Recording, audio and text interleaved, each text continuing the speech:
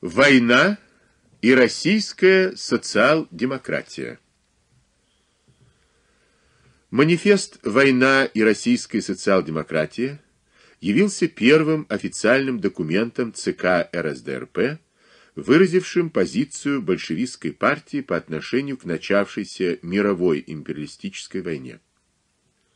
Манифест был написан 1 ноября 1914 года в виде передовой статьи в номере 33 Центрального органа РСДРП газете «Социал-демократ», вышедшем тиражом 1500 экземпляров. Манифест получил широкое распространение в России и за границей. В качестве официального документа, излагающего позицию РСДРП по отношению к войне, манифест ЦК РСДРП был послан Международному социалистическому бюро исполнительному органу Второго интернационала и в некоторые социалистические газеты Англии, Германии, Франции, Швеции, Швейцарии. 13 ноября 1914 года манифест в несколько сокращенном виде был напечатан в номере 265 социалистической газеты «Шентенелли», издававшейся в Швейцарии, в Шоденфоне и стоявший на интернационалистских позициях. По указанию Владимира Ильича Ленина манифест ЦК РСДРП был послан конференции социалистов нейтральных стран. В России полный текст манифеста был напечатан в большевистской газете «Пролетарский голос» номер 1, изданный ЦК РСДРП в феврале 1915 года. Важнейшие положения и лозунги партии, провозглашенные в манифесте, нашли свое отражение в большевистских листовках, издававшихся во многих крупных промышленных центрах России. Европейская война, которую в течение десятилетий подготовляли правительства и буржуазные партии всех стран, разразилась. Рост вооружений, Крайнее обострение борьбы за рынки в эпоху новейшей империалистической стадии развития капитализма передовых стран, династические интересы наиболее отсталых восточноевропейских монархий неизбежно должны были привести и привели к этой войне. Захват земель и покорение чужих наций, разорение конкурирующей нации, грабеж ее богатств, отвлечение внимания трудящихся масс от внутренних политических кризисов России, Германии, Англии и других стран, разъединение и националистическое одурачение рабочих и истребление их авангарда в целях ослабления революционного движения пролетариата. Таково единственное действительное содержание, значение и смысл современной войны. На социал-демократию прежде всего ложится долг раскрыть это истинное значение войны и беспощадно разоблачить ложь, софизмы и патриотические фразы, распространяемые господствующими классами, помещиками и буржуазией в защиту войны. Во главе одной группы воюющих наций стоит немецкая буржуазия. Она одурачивает рабочий класс и трудящиеся массы, уверяя, что ведет войну ради защиты Родины, свободы и культуры, ради освобождения угнетенных царизмом народов, ради разрушения реакционного царизма. А на деле именно эта буржуазия, лакействуя перед прусскими юнкерами с Вильгельмом II во главе их, всегда была вернейшим союзником царизма и врагом революционного движения рабочих и крестьян в России. На деле эта буржуазия вместе с юнкерами направит все свои усилия при всяком исходе войны на поддержку царской монархии против революции в России. На деле немецкая буржуазия предприняла грабительский поход против Сербии, желая покорить ее и задушить национальную революцию южного славянства, вместе с тем направляя главную массу своих военных сил против более свободных стран Бельгии и Франции, чтобы разграбить более богатого конкурента.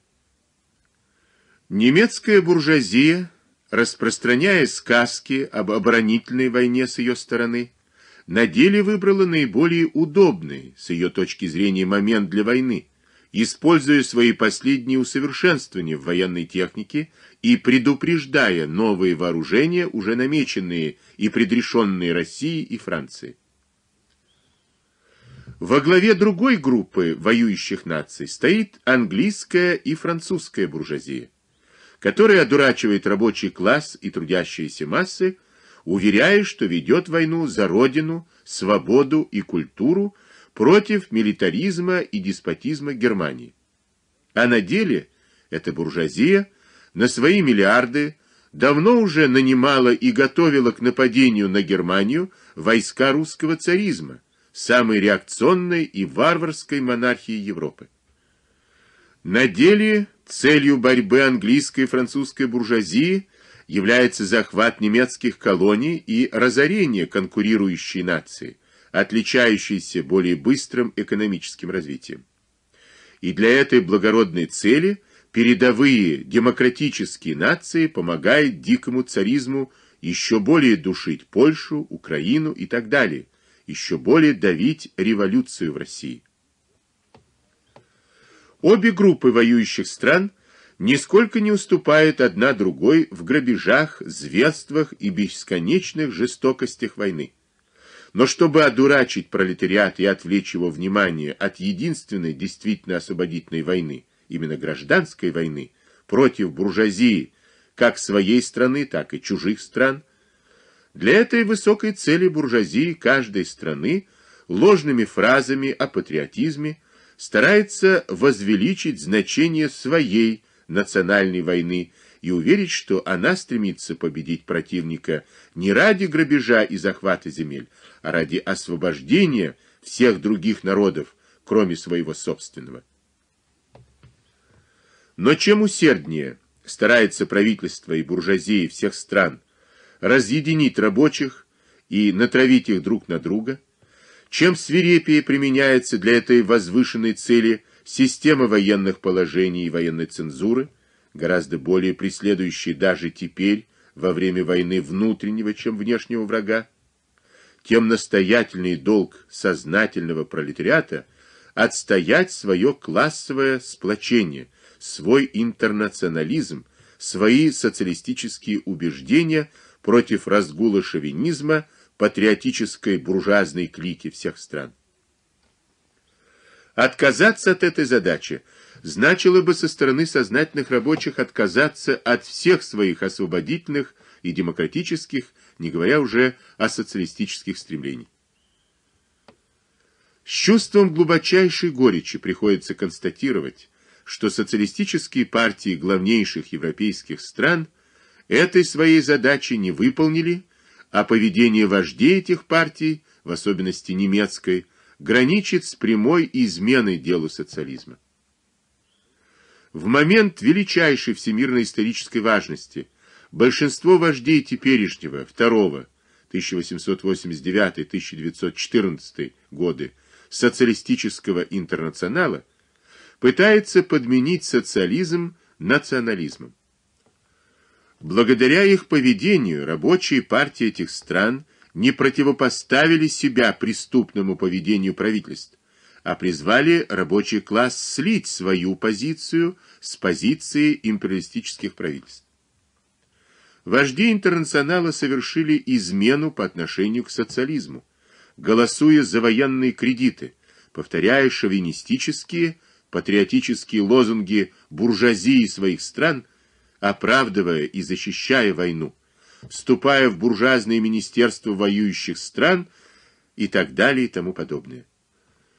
Влиятельнейшие социалистические вожди и влиятельнейшие органы социалистической печати современной Европы стоят на шовинистически буржуазной и либеральной, отнюдь не на социалистической точке зрения. Ответственность за это опозорение социализма ложится прежде всего на немецких социал-демократов, которые были самой сильной и влиятельной партией Второго интернационала. Но нельзя оправдать и французских социалистов, принимающих министерские посты в правительстве той самой буржуазии, которая предавала свою родину и соединялась с Бисмарком для подавления коммуны.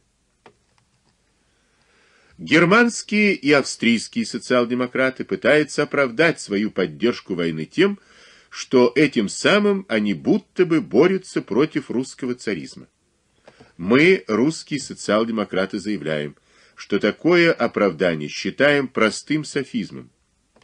Революционное движение против царизма вновь приняло в нашей стране в последние годы громадные размеры. Во главе этого движения все время шел российский рабочий класс. Миллионные политические стачки последних лет шли под лозунгом низвержения царизма и требования демократической республики.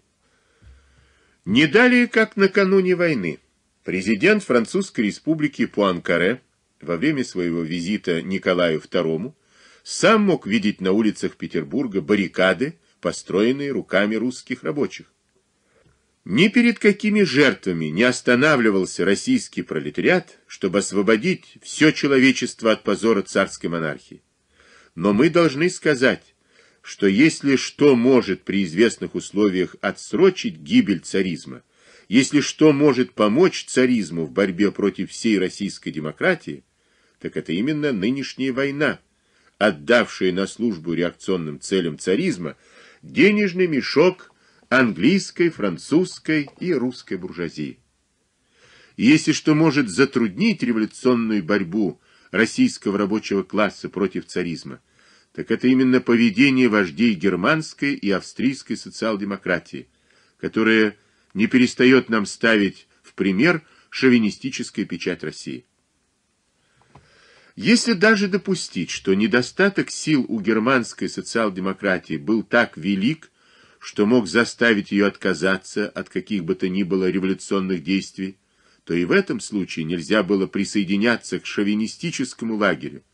Нельзя было делать шагов, по поводу которых итальянские социалисты справедливо заявляли, что вожди германских социал-демократов бесчестят знамя пролетарского интернационала. Наша партия, Российская социал-демократическая рабочая партия, понесла уже и еще понесет громадные жертвы в связи с войной. Вся наша легальная рабочая печать уничтожена. Большинство союзов закрыты. Множество наших товарищей арестовано и сослано. Но наше парламентское представительство, Российская социал-демократическая рабочая фракция в Государственной Думе, сочло своим безусловным социалистическим долгом не голосовать военных кредитов и даже покинуть зал заседаний Думы для еще более энергического выражения своего протеста, сочло долгом заклеймить политику европейских правительств как империалистическую. С началом войны депутаты-большевики в 4 Государственной Думе Бадаев, Муранов, Петровский, Самойлов и Шагов решительно выступили в защиту интересов рабочего класса. Проводя линию партии, они отказались голосовать за военные кредиты царизму. Выступали с разоблачением империалистического, антинародного характера войны. Разъясняли рабочим правду о войне, поднимали их на борьбу против царизма, буржуазии и помещиков. За революционную деятельность во время войны депутаты-большевики были преданы суду и сосланы в Сибирь. Смотри об этом статью Владимира Ильича Ленина «Что доказал суд над РСДР фракцией».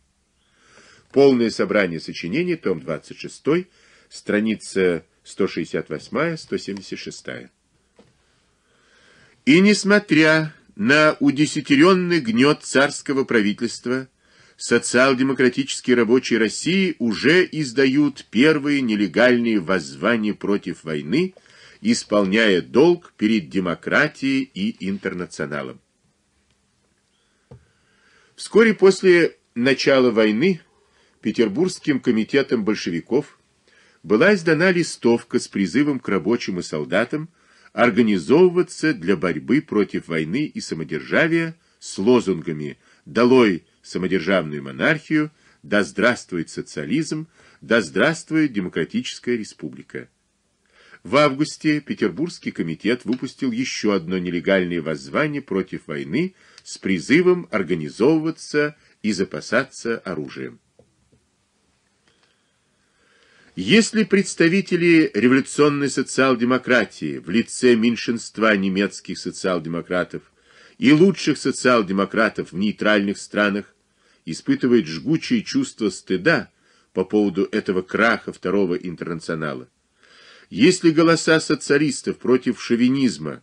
Большинства социал-демократических партий раздаются и в Англии, и во Франции, если оппортунисты в лице, например, германского социалистического ежемесячника, давно стоящие на национал-либеральной позиции, вполне законно торжествуют свою победу над европейским социализмом, то наихудшую услугу пролетариату оказывают те колеблющиеся между оппортунизмом и революционной социал-демократией люди, подобно центру в германской социал-демократической партии, который пытается замалчивать или прикрывать дипломатическими фразами крах второго интернационала. Напротив, надо открыто признать этот крах и понять его причины, чтобы можно было строить новое, более прочное социалистическое сплочение рабочих всех стран. Оппортунисты сорвали решение Штутгартского, Копенгагенского и Базельского конгрессов. Обязывавшие социалистов всех стран бороться против шовинизма при всех и всяких условиях, обязывавшие социалистов на всякую войну, начатую буржуазией и правительствами, отвечать усиленную проповедью гражданской войны и социальной революции. Международный социалистический конгресс в Штутгарте, седьмой конгресс Второго интернационала, происходил с 18 по 24 августа 1907 года. На конгрессе присутствовало 886 делегатов, представителей социалистических партий и профессиональных союзов. РСДРП была представлена 37 делегатами. В состав делегации большевиков входили Ленин, Богданов, Гольденберг, Мешковский, Кнунянц, Литвинов, Луначарский, Симашко, Цхакая и другие. Конгресс рассмотрел вопросы. Первое. Милитаризм и международные конфликты. Второе. Взаимоотношения между политическими партиями и профессиональными союзами. Третье. Колониальный вопрос. Четвертое. Иммиграция и эмиграция рабочих. И пятое. Избирательные права женщин. Во время Конгресса Владимир Ильич Ленин проделал огромную работу по сплочению левых сил в международной социал-демократии, решительно борясь против оппортунистов и ревизионистов. Организованные Лениным совещания с представителями левых Цеткин, Люксембург, Тышка, Ледобур и другие были первым шагом к сплочению революционных марксистов в международном социалистическом движении в эпоху империализма. Ленин принял участие в работе комиссии по главному вопросу милитаризм и международные конфликты. При обсуждении проекта резолюции, внесенного Бебелем, Ленин своими поправками, поддержанными представителями польской социал-демократии, добился коренного изменения его в духе революционного марксизма. Принятие резолюции «Милитаризм и международные конфликты» явилось огромной победой революционного крыла над оппортунистическим в международном рабочем движении. Смотри статьи Ленина «Международный социалистический конгресс в Штутгарте». Полное собрание сочинений, том 16, страницы 67-74, 79-89. Международный социалистический конгресс в Копенгагене, восьмой конгресс Второго интернационала, происходил с 28 августа по 3 сентября 1910 года. На конгрессе присутствовало 896 делегатов. РСДРП на конгрессе представляли Ленин, Плеханов, Калантай, Луначарский и другие. Для предварительного обсуждения и выработки резолюций по отдельным вопросам были образованы пять комиссий. Ленин вошел в одну из основных комиссий Конгресса, кооперативную. В целях сплочения революционных марксистов на международной арене Ленин во время Конгресса провел совещание с левыми социал-демократами, присутствовавшими на Конгрессе. В резолюции по вопросу о борьбе с войной, третейские суды и разоружения, Конгресс подтвердил резолюцию Штутгартского конгресса 1907 год «Милитаризм и международные конфликты», которая включала предложенные Лениным и Люксембург поправки, требовавшие от социалистов всех стран использовать вызванный войной экономический и политический кризис для свержения буржуазии. Резолюция Копенгагенского конгресса обязывала также социалистические партии и их представителей в парламентах требовать от своих правительств сокращения вооружений, разрешения конфликтов между государствами посредством Третейского суда, призывала рабочих всех стран к организации протестов против угрозы войны. Базельский конгресс, чрезвычайный международный социалистический конгресс, происходивший в Базеле 24-25 ноября 1912 года. Конгресс был созван для решения вопроса о борьбе с надвигающейся опасностью мировой империалистической войны, угроза которой еще более возросла после начала Первой Балканской войны. На Конгрессе присутствовало 555 делегатов. ЦК РСДРП послал 6 делегатов. В день открытия Конгресса состоялась многолюдная антивоенная демонстрация и международный митинг протеста против войны. 25 ноября на Конгрессе был единогласно принят манифест о войне. Манифест предостерегал народы от угрозы надвигающейся мировой войны. Он вскрывал грабительские цели, подготовлявшиеся империалистами войны, и призывал рабочих всех стран повести решительную борьбу за мир против угрозы войны, противопоставить капиталистическому империализму мощь международной солидарности пролетариата. В случае возникновения империалистической войны манифест рекомендовал социалистам использовать экономический и политический кризис – вызываемой войной для борьбы за социалистическую революцию. Вожди Второго интернационала Каутский, Вандервельда и другие на Конгрессе голосовали за принятие манифеста против войны. Однако с началом мировой империалистической войны они предали забвению Базельский манифест, как и другие решения международных социалистических конгрессов о борьбе с войной, и встали на сторону своих империалистических правительств. Крах Второго интернационала есть крах оппортунизма, который выращивался на почве особенностей миновавшей так называемой мирной исторической эпохи и получил в последние годы фактическое господство в интернационале. Оппортунисты давно подготовляли этот крах, отрицая социалистическую революцию и подменяя ее буржуазным реформизмом, отрицая классовую борьбу с ее необходимым превращением в известные моменты в гражданскую войну. И проповедуя сотрудничество классов, проповедуя буржуазный шовинизм под названием патриотизм и защита Отечества, и игнорируя или отрицая основную истину социализма, изложенную еще в коммунистическом манифесте, что рабочие не имеют Отечества, ограничиваясь в борьбе с милитаризмом, сентиментально-мещанской точкой зрения вместо признания необходимости революционной войны пролетариев всех стран против буржуазии всех стран. Превращая необходимое использование буржуазного парламентаризма и буржуазной легальности и фетишизирование этой легальности и забвение обязательности нелегальных форм организации и агитации в эпохе кризисов. Естественное дополнение оппортунизма, столь же буржуазной и враждебной пролетарской, то есть марксистской точки зрения, анархо-синдикалистское течение, ознаменовало себя не менее позорно самодовольным повторением лозунгов шовинизма во время современного кризиса. Нельзя выполнить задачи социализма в настоящее время, нельзя осуществить действительное интернациональное сплочение рабочих без решительного разрыва с оппортунизмом и разъяснения массам неизбежности его фиаско.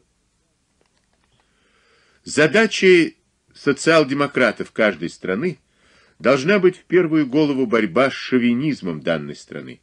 В России этот шовинизм всецело охватил буржуазный либерализм, кадеты, и частью народников, вплоть до социал-революционеров и правых, социал-демократов. В особенности обязательно заклеймить шовинистические выступления, например, Смирнова, Маслова и Плеханова, подхваченные и широко используемые буржуазно-патриотической печать. При данном положении нельзя определить с точки зрения международного пролетариата, поражение которой из двух групп воюющих наций было бы наименьшим злом для социализма. Но для нас, русских социал-демократов, не может подлежать сомнению, что с точки зрения рабочего класса и трудящихся масс всех народов России наименьшим злом было бы поражение царской монархии, самого реакционного и варварского правительства, угнетающего наибольшее количество наций и наибольшую массу населения Европы и Азии. Ближайшим политическим лозунгом социал-демократов Европы должно быть образование республиканских Соединенных Штатов Европы.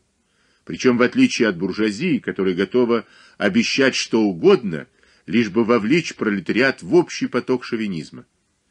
Социал-демократы будут разъяснять всю лживость и бессмысленность этого лозунга без революционного низвержения монархии германской, австрийской и русской.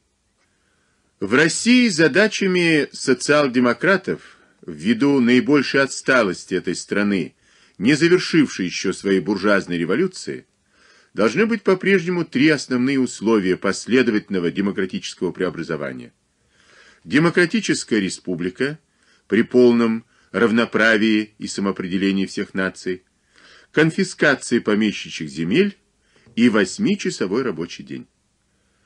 Но во всех передовых странах война ставит на очередь лозунг социалистической революции, который становится тем насущнее, чем больше ложатся тяжести войны на плечи пролетариата, чем активнее должна будет стать его роль при воссоздании Европы, после ужасов современного патриотического варварства в обстановке гигантских технических успехов крупного капитализма. Использование буржуазии законов военного времени для полного затыкания рта пролетариату ставит перед ним безусловную задачу создания нелегальных форм агитации и организации. Пусть оппортунисты берегут легальные организации ценой измены своим убеждениям. Революционные социал-демократы используют организационные навыки и связи рабочего класса для создания соответствующих эпохи кризиса нелегальных форм борьбы за социализм и сплочения рабочих не с шовинистической буржуазией своей страны, а с рабочими всех стран. Пролетарский интернационал не погиб и не погибнет.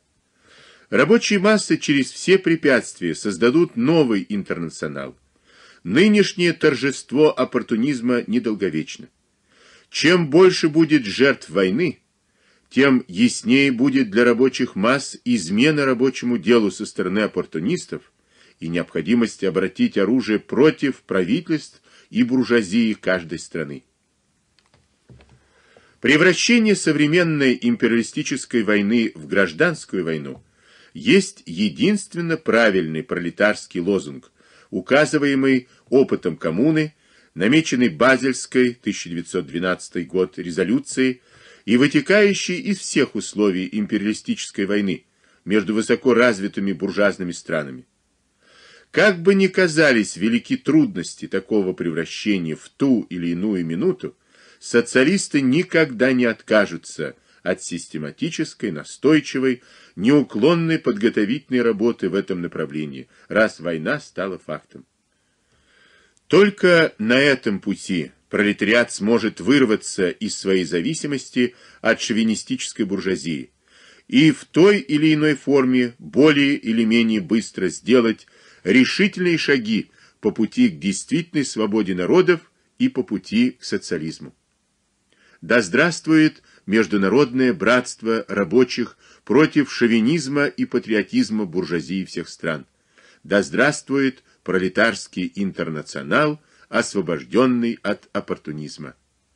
Центральный комитет Российской социал-демократической рабочей партии. Написано в сентябре, ранее 28-11 октября 1914 года.